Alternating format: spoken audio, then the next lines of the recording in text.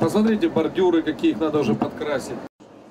Дороги на Красную Поляну – пристальное внимание. Очевидно, что горный кластер будет одним из самых привлекательных объектов для туристов не только этим летом, но и в ближайшие несколько лет. К Олимпиаде вся эта зона была приведена к единому архитектурному облику. Спустя два месяца уже появились некоторые шероховатости. Накануне в городе прошел месячник по наведению порядка. Присоединиться к субботникам призывали и всех сочинцев. Однако некоторые не захотели убирать мусор даже во дворах собственных частных домов.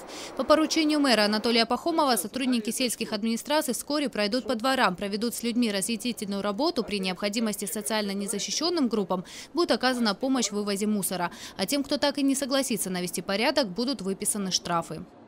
Каждый человек должен, естественно, навести порядок в своем дворе.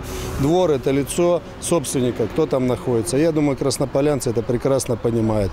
Газон и все остальное также будем приводить в порядок. Я думаю, человек, жителю, перед которым имеется газон, неважно, муниципальный нет, он тоже за ним будет ухаживать, потому что это перед его двором.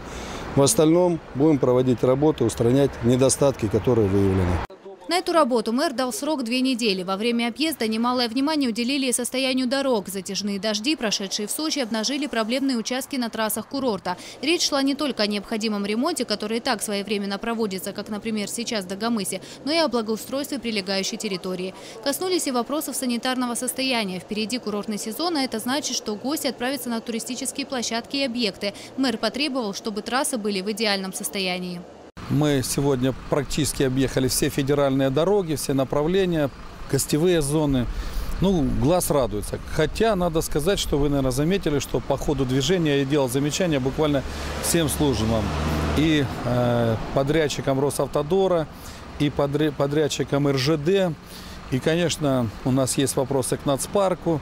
Вот. И, естественно, что вопросы есть и к главам районов, потому что наш город сегодня имеет стартовую э, планку такую высокую, что сегодня там мелочей не бывает. И все должно быть ухожено, все должно быть очень красиво, радовать глаз.